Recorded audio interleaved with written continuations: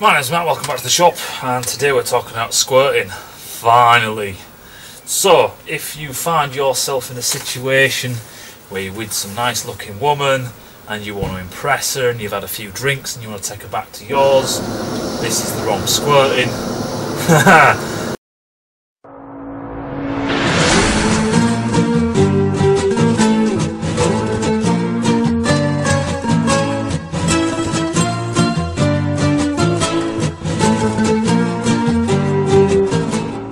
So, piston squirting or oil squirting, uh, oil jets. Um, you may see this on a lot of high performance bikes. This is a four stroke thing.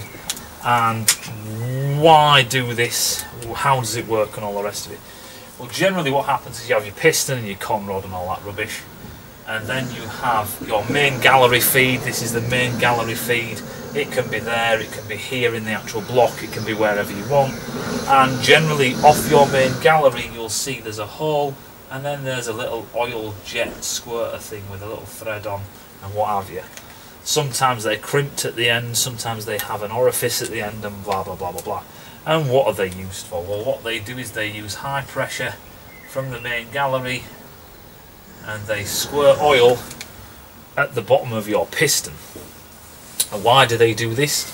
Number one, oiling, obviously, because you want to try and oil your um, wrist pin. You want to oil your wrist pin, and uh, sometimes, or a lot of times, you have a con rod, and there is actually an oil gallery that comes all the way up the inside of your con rod, and actually does a job of oiling your wrist pin.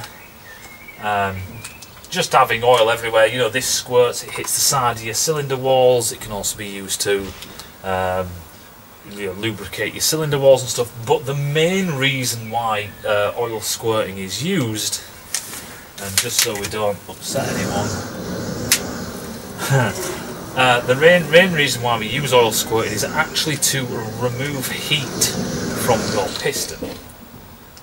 Um, you squirt the underside of your piston uh, and as soon as that oil makes contact with your piston it absorbs the heat because it's generally cooler than the piston is. And then it falls off. It literally falls off as your piston comes down.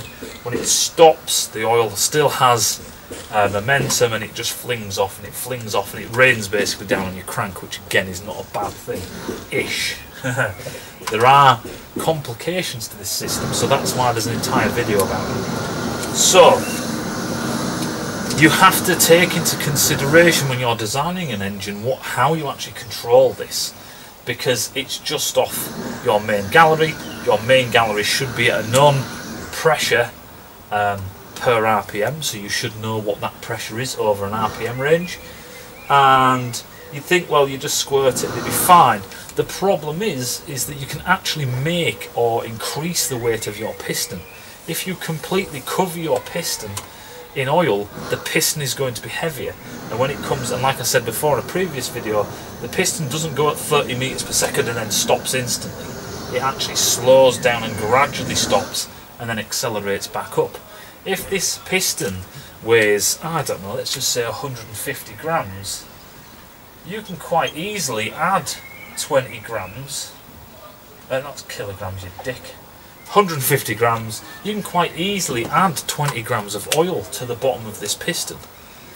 And when you accelerate that piston again, that is that in half changing um, the mass of the entire system. Now, yes, when you accelerate away, a lot of that oil is going to fall off.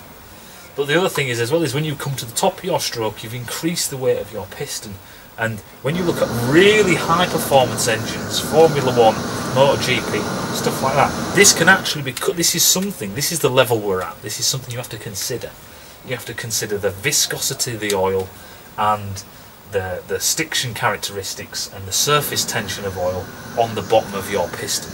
It's as simple as that. You want it to sit there, take heat, and then fall off. That's the other thing. You don't want the oil sitting there stuck to your piston because it's there to absorb the heat and then fall off. Now obviously the up and down motion does this, but when you're going at 10,000, 15,000 uh, 15,000 RPM, this needs to happen quite quick. The other thing is as well is um, this is more to do with the V8 boys and all the rest of it, but it is a consideration is uh, what we call windage. So your crank is spinning like a crazy bastard, and it's raining oil from the bottom of the piston. It's raining oil onto this pist onto your crankshaft, and that actually hitting um, the crankshaft does nothing, but it is a resistance. It is a resistance, and at these 15, 16,000 RPM uh, ranges, and when you're trying to make a bike better this year than last year, things like this have to be taken into consideration. The fact of the matter is, is your crankshaft, if you think about it, is like a fat propeller. It is spinning at 15,000 RPM, and in your crankcase, it's a sea, it's a fog of oil. You know, there's oil returning, there's oil being squirted up, and there's pistons letting it go, and it's turning into all this misty particle stuff. And your crankshaft has to plough through that. Your rods have to pass through, in a sense, which is thicker air. You know, it is it, it's air, and it's thicker because the oil mist is in there, and that actually does cause not real issues, but it's something we have to take into consideration when we design an engine. This is one of the reasons why knife edging exists, um, just so that the crankshaft throws can basically plough through the air uh, smoother. There's also the eddies and the um, the wake of the crankshaft itself, especially the conrods. The crankshaft webs aren't so bad if they're full circle, but if they're not not full circle, then this can again produce a problem. As soon as you start getting flow separation and stuff like that, it creates a lower pressure region, which means there's a pull or an, uh, an opposing force to you spinning. Like I say, for your road bikes, forget it, don't need to worry about it. But for really, really high performance engines and stuff like that, this is one of the reasons why they use DLCs, which is diamond like carbon coatings on the bottom of pistons. They're very good for wear resistance and whatever, but it's also their thermal conductivity and their um, how the how the oil sticks to it, its stiction, how the oil actually sticks to the bottom of the piston, and how you know the de-wetting. How does it get rid of it? Does it flick it off quite well? So that's oil squirters. You might see when you take your cylinder, your pistons out your engine, you might see all these little pipes facing up at you and go, what the fucking hell are then? That's these little oil squirter jets. This is what they do, and, and this is why they're important. They're there basically to lubricate things, but more, more than not, Eh, more,